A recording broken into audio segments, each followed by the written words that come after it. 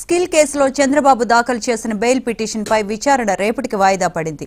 కాగా చంద్రబాబు కంటి operation health condition వివరాలను చంద్రబాబు తరపు లాయర్లు హైకోర్టుకు అందజేశారు.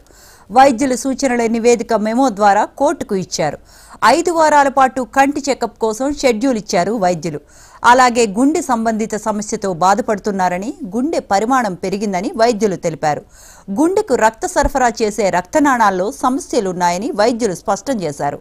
దీంతో తగినంత విశ్రాంతి అవసరమని వైద్యులు సూచించారు.